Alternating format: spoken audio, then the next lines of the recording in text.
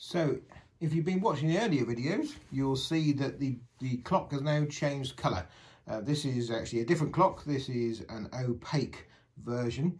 It's also a different design. The first one was a digital alarm clock, while this is actually a kitchen timer. If I just uh, pull this forward, you'll see there is a one and a two. Uh, and what that means is if I uh, can press one or two, I get the green timer and the blue timer. So if I press it again, I can then go through hours, minutes and seconds. I can increment accordingly as such on. And as soon as I press it once more time, it will count down and then trigger some music.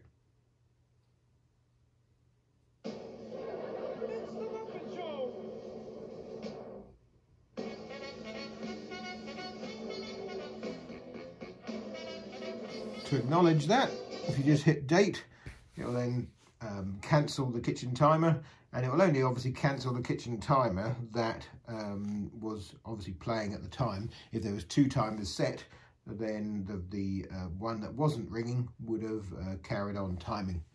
And as with the first clock, uh, all the functions for programming it uh, are within the system and no changes uh, at all. Thank you.